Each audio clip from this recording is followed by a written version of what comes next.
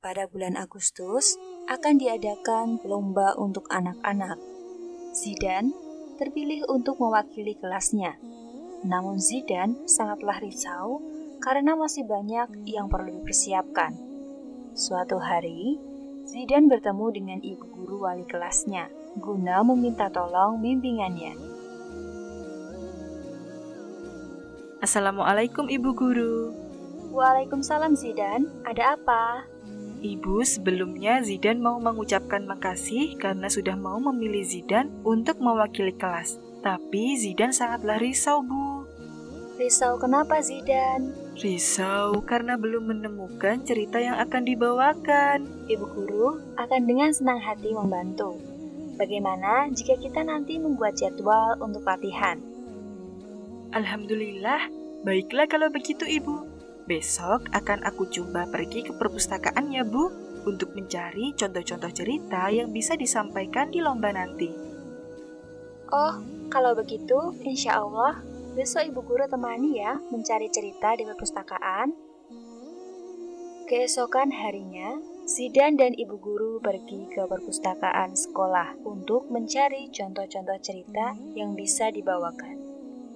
Berbagai jenis cerita sudah dikumpulkan Akhirnya, Zidan dan ibu guru sepakat untuk memilih kisah tentang mujizat Nabi Musa. Hari pelaksanaan lomba pun tiba.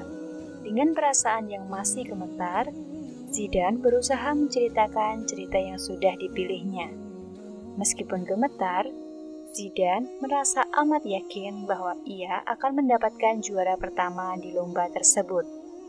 Ketika pengumuman tiba, Zidane mendapatkan juara tiga. Hal ini tentu membuat perasaan Zidane menjadi sedih. Zidane, syukurlah kamu mendapat juara tiga. Kita harus selalu mengucap syukur Alhamdulillah ya. Ini sudah menjadi rezeki dari Allah Subhanahu wa Ta'ala. Kita harus ridho dengan khodo dan khodar Allah Subhanahu wa Ta'ala. Apa maksud ridho dengan kodo dan kodar, Bu Guru? Maksudnya adalah menerima ketentuan dari Allah dengan hati yang lapang, suka maupun tidak suka. Karena segalanya telah ditentukan olehnya. Maka dari itu, Zidan haruslah ridho dengan ketentuan yang telah Allah tetapkan. Di setiap kejadian pun tentu memiliki hikmahnya bukan? Misalnya, Zidan ingin menjadi juara umum, ternyata hanya bisa mendapatkan posisi ketiga. Artinya, Zidan perlu ridho dengan rezeki yang telah diberikan. Allah Subhanahu wa Ta'ala akan memberikan pahala dan juga balasan-balasan yang baik. Subhanallah, lantas apa yang akan terjadi kepada orang yang tidak ridho dengan kodo dan kodar Allah Subhanahu wa Ta'ala, Bu? Dalam sebuah hadis dijelaskan bahwa Seseorang yang tidak mau bersabar dan ridho dengan khodo dan khodar, maka hendaklah ia mencari Tuhan selain Allah Subhanahu wa Ta'ala. Zalik, la ilaha illallah, sesungguhnya tidak ada Tuhan yang berhak disembah melainkan Allah Subhanahu wa Ta'ala.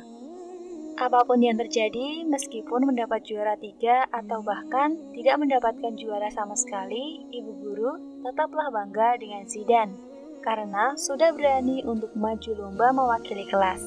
Sekali lagi, selamat ya sudah mendapatkan juara ketiga. Terima kasih Ibu Guru, Alhamdulillah.